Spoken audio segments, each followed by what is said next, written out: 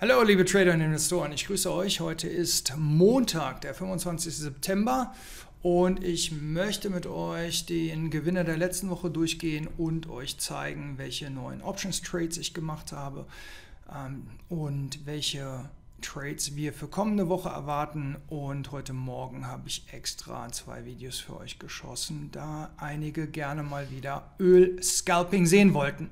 Beeile ich mich, damit ich innerhalb der elf Minuten bleibe. Also Risikodisclaimer, wir dürfen keine Anlageberatung tätigen, das ist verboten, daran halten wir uns. Wir dürfen keine Handelsempfehlungen aussprechen, das ist ebenfalls verboten, daran halten wir uns auch. Somit alles, was wir sagen und zeigen, dient ausschließlich zu Ausbildungs- und Informationszwecken. Für die Futures Trader unter uns gilt CFTC Regel 4.41 irrelevant, was jemand hier am Backtest zeigt, hat nichts mit der Zukunft zu zu tun und Copyright ist ebenfalls in Effekt. Agenda für jetzt. Meine FX-Gewinner letzte Woche. Themen diese Woche, äh, neue Option Trades und mein FX Trades für kommende Woche und Bonus Öl Scalping. So, mein FX-Gewinner letzte Woche. Ich sagte, alle vier Ideen, die ich gestern gestern, entschuldige bitte, die ich letzte Woche vorgestellt hatte, hatten eine Gültigkeit vor der FED. Die FED war Mittwoch um 20 Uhr. Long, Aussie gegen Schweiz, ein Seitwärtstrade, Aussie gegen kanadischer Dollar, ein Short, Pfund gegen Yen, ein Seitwärtstrades, Euro gegen Schweizer Franken. Long Aussie gegen Schweiz, das war die Idee, die Folie, die ich dir gezeigt hatte letzte Woche. Das ist das Outcome, das Resultat. Also leider nicht eingestoppt worden. Die Order lag hier unten. Ähm, das ist Montag, dieser Mittwoch, Donnerstag. Was war äh, A? A.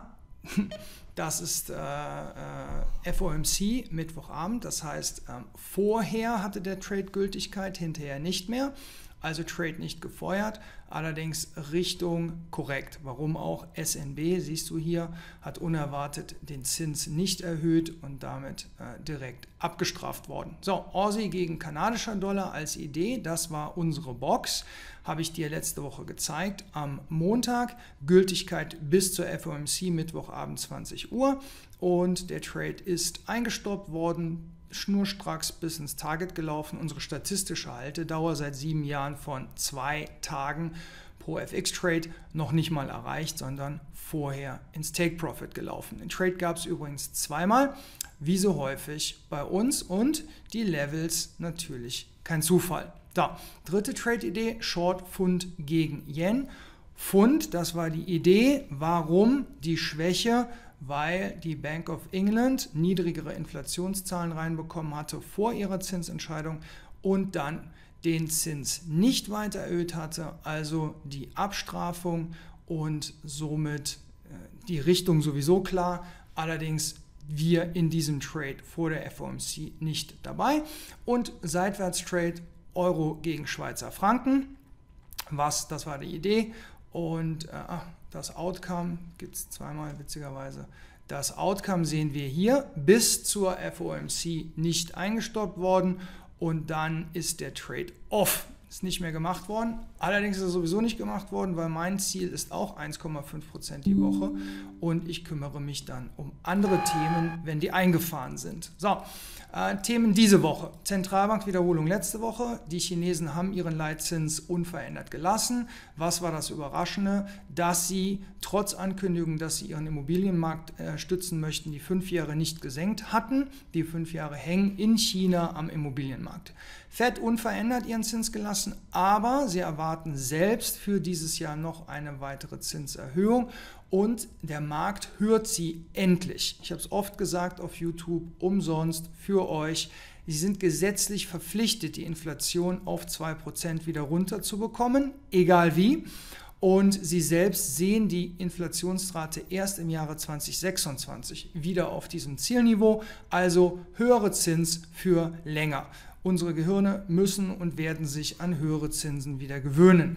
Und wichtig, makroökonomisch sehen Sie ein verändertes Umfeld. Das sagen Sie nicht so, aber ich sage dir das, ich übersetze das für dich von Goldilocks zu Stagflation, das heißt Long Rohstoffe, wenn überhaupt. Wir haben in den USA einen schwierigen Bear Steepener. Wenn du nicht weißt, was das ist, empfehle ich dir das Nummer 1 Video auf unserem YouTube-Kanal, der Wirtschaftszyklus und die Zinskurve und wie ich damit Geld verdiene, damit du verstehst, in welchem Spiel du überhaupt bist. Powell glaubt, wichtigster und interessantester Nebensatz aus der ganzen Pressekonferenz, dass temporär die Neutral Rate höher sein könnte. Und da ist jetzt der Markt auch aufgewacht und deswegen sehen wir teilweise sogar ein Parallel Shift higher in der Zinskurve in den USA und der Dollar outperformt. Wir waren eben bei 155. Ich bin sehr stolz auf meine Trader, die das sogar im Chat gepostet haben. Das wird ein immer professionellerer Chat. Der wird sogar besser, als ich bei Banken gesehen hatte, bei denen ich gearbeitet habe. Warum auch? Weil ihr ja professionell ausgebildet seid und mehr wisst als die Leute, die dort arbeiten.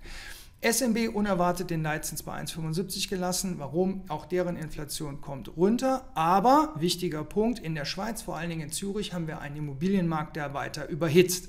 Also völlig was anderes als im Rest der Welt, wo du von morgens bis abends nur hörst, äh, die Immobilien. Äh, egal, in der Schweiz ist das anders. Hier wichtiger Punkt, das wirkt inflationär, aber die Daten kriegen wir für November erst am 4. Dezember, also eine Woche vor der nächsten SNB-Entscheidung, Zinsentscheidung. Und Jordan sagte uns schon, hm, ich weiß nicht, was wir in der nächsten machen. Wir sind nämlich datenabhängig, wie alle westlichen Zentralbanken mittlerweile. Und wir werden definitiv den Schweizer Franken weiter schützen, indem wir Fremdwährungen verkaufen. Aber ob wir am Zins, Leitzins drehen, da müssen wir die Daten abwarten. Wann das passiert, habe ich dir gerade gesagt. Dann Bank of England Leitzins, 5,25 Prozent gelassen, 4,05 das Voting-Ergebnis. Und äh, Inflationszahlen kamen auch hier wesentlich niedriger vor dem Meeting rein als erwartet. Erst hatte der Markt eingepreist eine Zinserhöhung, dann kamen die Inflationszahlen, dann stand es 50-50 und sie haben nicht erhöht und das Pfund wurde abgestraft. Bank of Japan, wie erwartet, ließen sie alles beim Alten, minus 0,10 Prozent der Leitzins, Yield Curve Control 10 Jahre bei 0% mit einem Band von plus minus 50 Basispunkten. Ueda weiterhin dovish. Diese ganze Hektik, die einen Tag vorher Yen Long, das war alles nur ein großartiges Geschenk vom Trading Gott, dass du da drauf hämmern konntest auf den Yen. Themen diese Woche. Wir haben die US 10 Jahre auf dem Radar, somit auch den Real Zins, somit auch Gold, somit auch Dollar. Das ist alles wichtig. Ich bin sehr stolz. Marlon hatte eben schon das korrekte Zinsniveau ähm, äh, avisiert im Chat und äh, Dennis hatte dann, äh, nee, Fetti hatte dann ähm, uns den Dollar-Index sogar reingestellt. Macht ihr hervorragend, Team. Wirklich gut. Glückwunsch an alle Trader, die diese Woche schon Geld verdient haben. Und die Woche ist gerade mal eine, eine Session alt. US Government Shutdown haben wir auf dem Radar. Alex, hast du sehr gut gemacht. Ich hatte im Chat eine Hausaufgabe gestellt. Alex hat sie sofort gemacht. Wie hat der Dollar reagiert bei den letzten US Government Shutdowns? Und da sehen wir 2018, 2019 ähm, die Reaktion und 2013 und was viel wichtiger und interessant ist, dass äh, selbst bei dem langen Shutdown 16 Tage lang der maximale Verlust war damals nur 1,7 Prozent im Dollarindex, aber die jeweilige Erholung danach ist bisher je gut gewesen. Freitag ist der wichtigste Tag diese Woche. Dann bekommen wir erst in Japan Tokyo CPI-Zahlen, die sind aber Platzhalter für, ganze, für das ganze Land. Dann haben wir in Euro die CPI-Zahlen und dann haben wir in UCE Uh, the Fed's most preferred measure of inflation, der PCE, erwartet allerdings selbe Reading wie im Juli mit plus 20 Basispunkten und Kanada GDP wird höher erwartet im Vergleich zum letzten Mal. So, neue Options Trades, was hatte Jay gemacht? In dem Konto, was ich mit dem Freitagsteam live handel, bin ich einen neuen Iron Condor eingegangen in Tesla. Achtung, am 18.10. sind da Earnings, das heißt, ich bleibe nicht über Earnings drin. Und ein Cash Secured Put passend zum makroökonomischen Cycle äh, auf äh, XLE wo ich mir diesen ETF andienen lasse bei einem Strike Price von 85, wenn wir da unten einschlagen. Da ich den Trade gerne haben möchte, bin ich sogar diesmal, ist ungewöhnlich für mich, unter die mindestens 1% annualisierte, also 12% annualisierte ähm, Rendite gegangen. Ich möchte gerne dabei sein. Das war der Grund. So, mein FX-Trades für kommende Woche. Hier ist mein FIST-Ergebnis, Pfund gegen Cut Short britisches Pfund gegen Neuseeland Short. Achtung, doppeltes Risk, wenn du beide machen würdest, macht natürlich wenig Sinn. Neuseeland gegen kanadischer Dollar als Seitwärtstrade und ein Bonus-Trade hatte ich glaube ich auch irgendwo noch. Also gucken wir uns an, Short Pfund gegen Cut. Ähm, ich gehe den oberen von der zwei schrägen Strichen gerne ein. Ähm, dann haben wir Short Pfund gegen Neuseeland. Dann siehst du, Trade ist schon auf dem Weg in sein Target. Kann ich also nur gucken, wie ich in ein höheres Level, falls wir da reinhandeln, nochmal reinkommen. Entschuldige, ich war zu schnell. Ne? Also Nummer 2 und dann ähm, ein Seitwärtstrade Neuseeland-Dollar gegen kanadischer Dollar. Das erinnert dich wahrscheinlich an Aussie Cut letzte Woche, sehr gut, ist der kleine Bruder davon. Und Schweizer Franken gegen Yen ebenfalls als seitwärts hier zu sehen. Update auf Saudi-Arabien gegen KSA. Saudi-Arabien ist weiterhin ein Short. Interessant ist nämlich hier, Saudi Arabian Oil Company macht nichts, äh, ist weiterhin bei 34 wie letzte Woche, aber der ETF auf KSA schmiert ab, da ist ja mehr drin als nur Saudi Arabian Oil und äh, das habe ich auf dem Radar, KSA ist und bleibt ein Short. Ich bin übrigens auch noch Pulte Home ebenfalls Short, aber das nur am Rande. So, ich habe nur noch anderthalb Minuten. Ein Bonus, Skype. Ich avisiere also heute Morgen, Achtung, äh, Öl hitting 90 Dollars, I am interested. Dann, was ich mir noch anschaue. Und dann kam der Öl-Skype Nummer 1. Hier ist das Ergebnis und ich ziehe mal kurz die Aufnahme rein. So, also was du siehst, wir sehen aggressive, Mark äh, wir sehen aggressive Käufer, die in den Markt kommen. Äh, ich sehe das richtige Verhalten im Markt. Äh, genau das an einem Preisniveau, bei dem, bei welchem ich Interesse hatte. Äh, wir sehen, wie ähm, Buy-Limite und Sell-Limite jetzt hier in Anführungszeichen diskutieren. Wichtig für meine Trader die 9002. Ihr seht da, was ihr da seht. Und mein Target war ursprünglich die 9025. So, jetzt muss ich gucken, was ich dir reinziehe. Genau. Ähm, Jetzt ziehe ich erstmal hier, können wir sehen in dieser Software, ein Range Profile rein, damit ich signifikante Marken sehen kann. Genau. Und dann sehe ich, Value Area Low war das Target. Was mache ich hier? Achso, genau, ich gehe auf das Live Align Right.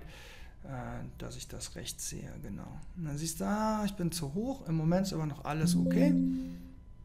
Wie immer verklickt der Jay sich, im Moment ist alles okay. Ich sehe also das richtige Verhalten im Orderflow, was ich auch sehen möchte. Jetzt habe ich einen Stop-Loss da reingezogen, wie du vielleicht sehen kannst. Also äh, Free Look Above sozusagen. Gucken wir mal, was passiert. Ich meine, ich weiß ja, was passiert. Und äh, Achso, äh, warum nur kleine Size? Gute Frage, wenn sie einer fragt, weil falsche Uhrzeit. Ähm, so, mehr sage ich dazu nicht. Das soll dir ja nur zeigen. So, hier gehe ich raus. Warum? Weil ich die 1516 gesehen hatte. Gegenseite kam rein. Sekunde. Ja, wir sind also, die 25 haben wir nicht geschafft. Wir wurden dann abgewiesen. Und dann kommt Skype Nummer 2. Da fällt dir dann gleich auf, dass wir auf der einen Seite sehen, dass der POC sich nach unten shiftet, wir viel Liquidität von einem äh, Buying Program, algorithmischen Buying Program unter uns sehen und äh, wir schauen uns das auch gemeinsam an, wenn du möchtest. Okay, super. Also, ich bin wieder an dem 90er Level, interessiert mich wieder. Das ist übrigens das dritte Mal jetzt in der London Session, dass wir an dem 90 Dollar Level halten. Wir wurden zweimal gekauft. Aber mit dem Problem, dass wir immer wieder institutionelles Selling-Interesse über uns erkennen. Und äh, ich gucke, dass ich ein bisschen schneller mache, weil das Ding ist, glaube ich, recht lang. Hallo? Ah ja, genau, das muss ich dir zeigen möchte ich dir zeigen. Wir gucken also hier, wir akzeptieren niedrigere Preise. Das ist schon mal ein Thema, problematisch für einen Long. Der Markt sucht seinen Bottom Edge und hier zeige ich, ne, jetzt kam gerade richtig Volumen rein. Also wir haben ein Selling Program, was gerade reinkam ähm, und unter uns ist noch sehr, sehr viel Liquidität. Ähm, jetzt gucke ich, was als nächstes passiert. Ja, genau. Schau mal hier. Hier committe ich mich. Erst, erster Kontrakt long. Ist korrektes Verhalten. Wir sehen Exhaustion unter uns. Ähm, was mir nicht gefallen hatte, war das Verhalten der anderen Märkte. Aber gut, ist egal. Ähm, ich committe mich und ich sehe, du wirst gleich sehen, wie wir die 88 höheres Volumen akzeptieren. Also 89, 88. Hier siehst du gleich. Wir hauen da rein, wir hauen da rein. Wir akzeptieren immer mehr. Hier kümmert der Jay sich noch bis zu ähm, dem ehemaligen POC, das war mein Take Profit und wir sehen, wie wir die in der 88 reinhämmern. Und wir sehen Käufer, Käufer, Käufer, Käufer, Käufer. Und das ist eben das Interessante. Keine Software kann dir sagen, ob es danach steigt oder fällt, sondern das Verhalten. Ja, andere Märkte auf dem Radar haben und ähm, hier sehe ich, okay, wir akzeptieren niedrigere Preise, immer mehr, immer mehr. Und dann merke ich, okay, du warst zu früh, also was machst du? Gehst du raus. So, jetzt sehen wir hier. Das ist alles auf der, ähm, das sind Zelllimite, die pressen, auch wenn du die nicht siehst, die pressen, sie verhindern, dass die aggressiven Market Buyer effektiv steigen können. Und ich gehe dann gleich raus. Ich muss nur mal gucken, wann, wann ich rausgehe. Ich werde dir nicht 21 Minuten Video antun, keine Angst. Ja, hier genau. Ich sehe also, wir akzeptieren immer weiter. 14, 16, 329 und dann gehe ich raus. 329 zu 59 ist kein, äh, das ist keine finished auction. Das heißt einfach nur, wir fallen weiter. Sorry, you're gonna get your ass handed to you. Macht keinen Sinn, da long zu bleiben. Also, be quick in taking losses. Uh, wie hat ein Trader gesagt, become a good loser, dann kannst du auch ein guter Gewinner werden. So, also, du siehst, wie wir eine niedrigere Distribution ausbilden. Immer weiter, immer weiter. Und jetzt sehe ich gleich, gehe zurück, genau, sehe ich, ne, die Käufer sind relentless, die gehen nicht weg, die Käufer. Also, wenn dieser, genau, da committe ich mich wieder, ich committe, ist wieder das richtige Verhalten, leider zwei Ticks überhalb dem, wo ich gerne long gewesen wäre. Und jetzt bin ich wieder bei der 88. Und jetzt ähm, muss man wissen, dass um 14 Uhr der Futures-Markt aufmacht in den USA. So, da ist also mein Take Profit 9014. Du kennst von eben die 9015. Jetzt, genau, jetzt zeige ich dir, wie ich die Position erhöhe. Ne? Also, ich sehe das richtige Verhalten, sagt mir super, das ist gut. Ich möchte longer sein. Ich möchte mehr als nur einen Kontrakt long sein. So, Seller kommen rein, das ist normal, Positionen atmen, das dürfen sie auch. Du siehst, wie die 88 hier sozusagen unser Durchschnittspreis ist von den institutionellen, die hier oben akkumulieren. So, jetzt gehe ich bei einem ähnlichen Level, gehe ich, äh, werde ich größer in der Position. Ich habe noch sieben Minuten, bis der Markt aufmacht. So, und ich gehe ein bisschen schneller, ein bisschen schneller, ein bisschen schneller. So, jetzt, ne, da quält der Markt dich, der quält dich. Der Retail möchte ja, dass sobald du drin bist, dass der Markt sofort long geht. Guck mal hier, dann gehen wir wieder auf die 88 runter, siehst du das? Und da bin ich schon mit 3. Ich habe also die Position nochmal erhöht. Ich bin schon mit 3 und ich sehe, dass die Sell-Limite, die Institutional Seller sind noch nicht weg. Also ähm, meine Aggressive Market Buy Orders werden weiterhin absorbiert von den Institutional Sellern. I don't give a shit. Ich weiß, was passiert. So, und jetzt kommt der Stop Run. Boom! Jetzt Handelsfehler von mir. Hätte ich größer werden müssen. Ich hätte jetzt den nächsten Kontrakt reinladen müssen.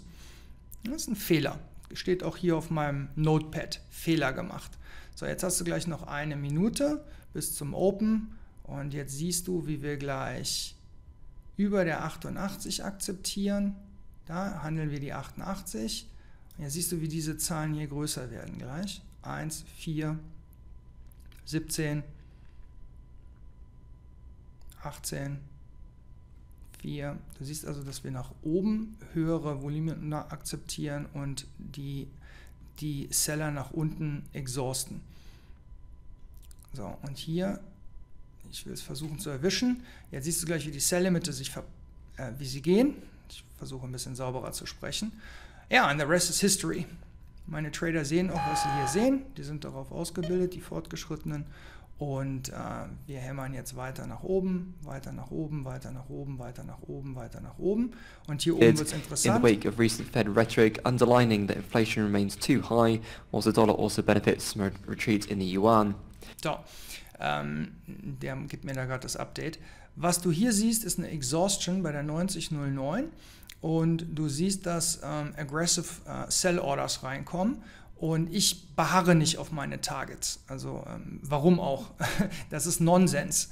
Ich passe mich dem Orderflow an. Was du hier jetzt siehst, ist, dass ich gleich rausgehe. So, jetzt 90,09 und ich sehe schon wieder 32,3, die Seller kommen rein. Das ist nicht, was ich sehen will hier oben.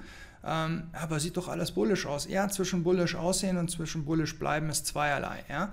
So, und jetzt gleich habe ich die Schnauze voll. Der tickt hoch auf 11, exhausted wieder und du siehst sofort wieder Verkäufer. Und da weiß ich, okay, wenn jetzt Verkäufer reinkommen, Burton stepping down to 128.87 from a peak of 129.56 that matched their previous year at close. Sieben. Whilst the T-note stepping rooted near the base of a 108 to 10 plus to 25 plus range. Und gleich From a yield perspective, yields drunter. extended to fresh Der nervt mich, sorry. Gleich. Da ziehe ich meinen Stopp schon nach. Ja, auf die 90,01. Da teste ich noch einmal hoch. Und das will ich nicht sehen. Das ist ein äh, Iceberg da oben. 6 zu 43. 15, days. 25 The UAW has gegen expanded 7. its strike against General Ich Motors sehe and also nur Seller und gehe raus. Und das war die, to 1 sorry dafür, das war die richtige Entscheidung, wie du gleich sehen wirst. Also wir haben gesehen, 11 war das Hoch, ja. Ähm, hier, das war das Hoch und danach sind wir komplett und haben die Liquidität unter uns abgegriffen. Und dann um 15 Uhr kam der andere Move. Und das ist eben das, was so trickreich ist, ähm, dass viele am Anfang sofort am liebsten diesen Unsinn machen möchten. Ähm, weil, was war das jetzt? Das war der erste Trade war plus 150 Dollar mit einem Kontrakt, der zweite war 360 mit drei Kontrakten, sind insgesamt 510 Dollar. Ähm, ja, hört sich alles super an, aber du musst so viel. Also ich habe acht Bildschirme vor mir, ich schaue, ich sehe, ich höre, ich, ich weiß, was ich weiß, was ich sehen will. Das ist ähm, Königsklasse. Das ist Königsklasse. Wir machen das mit den Fortgeschrittenen, wenn die uns erstmal bewiesen haben, dass sie auch ähm, im FX Swing jede Woche ihre 1,5% machen. Na, herzlichen Glückwunsch an Tim hier, hat mich sehr gefreut. Der schrieb nämlich, ey, es gibt alles immer mehr Sinn, so proud to be part of JMFX. Happy to have you. Dann sage ich, andere Welt, oder? Ganz anders als der technische Analyse-Scheiß, den du jahrelang gemacht hast. Und dann sagt er, ja, ja, wie war? Und Daniel hat auf Schweiz gegen, äh, auf Cut gegen Schweiz Long einen Gewinner gemacht. Äh, Tim hat hier oben seinen Gewinner gepostet. Das ist etwas, was mich sehr, sehr stolz macht dass die Trader lernen. So, das waren jetzt die Trader, die sich beweisen, dass sie jede Woche Geld drucken mit FX Swing Trading. Das ist unsere Basis. Dann, wenn ich dir sowas zeige wie der Tesla, äh, ähm, Iron Condor oder Cash Secured Put auf XLE, das kommt alles hier 1 bis 2 Prozent pro Monat. Meine Minimumanforderungen an uns äh, im, im Investmentportfolio und den ganzen Ölkram, den ich dir eben gezeigt habe. Ich weiß, dass das so verlockend ist für alle, aber das kommt eben aus diesem Intraday-Bucket. Und wenn du das professionell, diesen Beruf Step by Step erlernen möchtest, dann lade ich dich ein, anstatt irgendwelche Hate-Kommentare auf Social Media, da schrieb einer gestern und noch einer und noch einer und noch einer. Ich überlege mir, ob wir den ganzen Social Media Werbescheiß wieder einstellen, weil es mich einfach nur nervt. Wir haben sieben Jahre keine Werbung gemacht und äh, mich nervt es einfach nur, ständig beleidigt zu werden. Wir sind nicht noch einer, wir sind der, diejenigen, die institutionellen Handel euch deutschsprachigen Leuten überhaupt erstmal gezeigt und beigebracht haben. Derjenige, welche sind wir. Und nicht noch einer und noch einer und noch einer und noch einer. Das für denjenigen welchen. Also vom 11. bis zum 6. Die Plätze füllen sich. Every day kommen Buchungen rein. Und ich meine das ernst. Ich mache 100 Trader pro Jahr. Nein, ich habe keinen Termin danach für nächstes Jahr. Ich habe nie Termine in der Zukunft, weil ich, wer mich kennt, weiß, ich stecke von morgens bis abends in der Leistungserbringung. Ich erfülle unseren Auftrag, unsere Trader auszubilden. Deswegen der eine schreibt ein Buch, ich sehe das jeden Tag auf Instagram, mit dem Untertitel äh, Trade Smart, lebe frei. Leute, wollt ihr mich alle verarschen? Trade Smart, Live Free ist seit sieben Jahren mein Slogan. Trade Smart, Live Free, seit sieben Jahren. Okay? Auf meiner Webseite steht mehr Geld, mehr Zeit, mehr, was steht da? Ich weiß nicht, mehr Geld, mehr Zeit, mehr, ich muss selber gucken. Ich weiß nicht, wie oft das schon kopiert worden ist. Also, was machen die Leute? Hier, mehr Zeit, mehr Geld, mehr Freiheit. Was, was, was soll das? Aber so ist es mit dem Fachwissen, so ist es mit allem. Es wird einfach, das ist so eine asoziale Bran Branche, es ist krass. Anyways, wenn ihr Fragen habt, bitte an die Fragen-Ad. Ähm, ich telefoniere sehr gerne mit ernstzunehmenden Interessenten und erörtere dann auch, ob dieser Beruf für dich sinnvoll ist oder nicht. Und ansonsten freue ich mich auf eure Kommentare und ähm, äh, eure Wünsche. Ne, der eine hatte sich Ölscalps mal wieder gewünscht, habe ich extra für dich heute Morgen gemacht und äh, freue mich ansonsten auf nächste Woche wieder mit euch hier kommunizieren zu dürfen. Bis dann, Trade Smart, Live Free. Trade Smart, Live Free, Mario, mein Slogan. Bis dann, ciao, ciao.